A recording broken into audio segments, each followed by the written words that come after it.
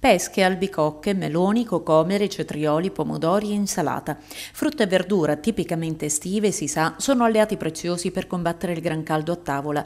Lo dicono gli esperti e anche il nostro istinto, che ci consigliano di riempire il carrello della spesa con alimenti ricchi di sali minerali, vitamine, zuccheri semplici e acqua, che aiutano a contrastare spossatezza, affaticamento e perdita di liquidi dovuti alle alte temperature.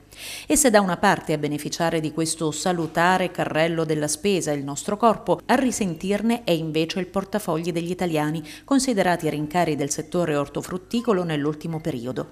Secondo Coldiretti, in media per la frutta si registra un aumento del 7,8% a giugno rispetto allo stesso mese dell'anno precedente, mentre per la verdura l'impennata è pari al 17,4%.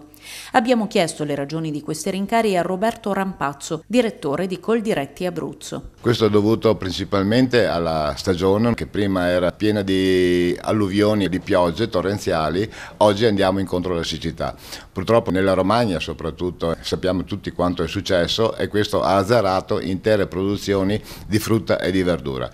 Non di poco conto è anche la siccità che sta attraversando la Spagna, vengono a mancare soprattutto patate, vengono a mancare poi le pesche, naturalmente essendoci poca produzione e poca offerta il prezzo tende a salire. Il consumatore come si può difendere da questi rincari perché poi si sente che pesa? E pesa sì e purtroppo noi tutti consumatori con questo caldo cerchiamo del refrigerio nella frutta e verdura, abbiamo delle iniziative da parte di tanti comuni che mettono a disposizione dei singoli cittadini dei pezzi di terreno, il famoso orto cittadino, i quali si vanno a coltivare la frutta e verdura per il singolo consumo. Forse questo è un modo anche di approvvigionarsi direttamente con frutta e verdura che loro stessi vanno a coltivare.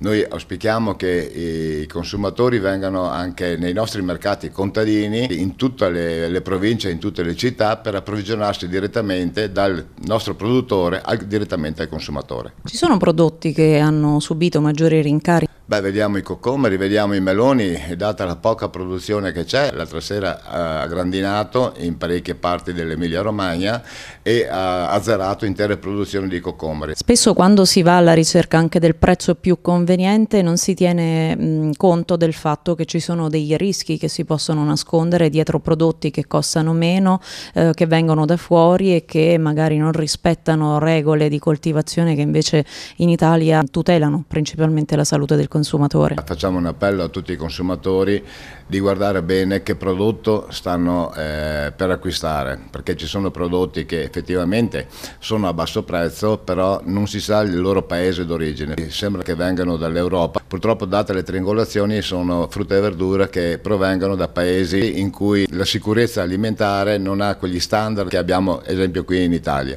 Quindi facciamo appello ai consumatori di consumare soprattutto prodotti italiani che eh, naturalmente si avvalgono di alcuni standard di sicurezza dovute alle nostre leggi nazionali che altri paesi non hanno. Questo per la salute propria e per la salute dei propri familiari.